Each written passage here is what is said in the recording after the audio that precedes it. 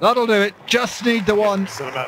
And Erlich and Vasilevski break the hearts of the Indian crowd and end the dream of Raja and Ramanathan. They're not to make it to the final, only as far as the semis.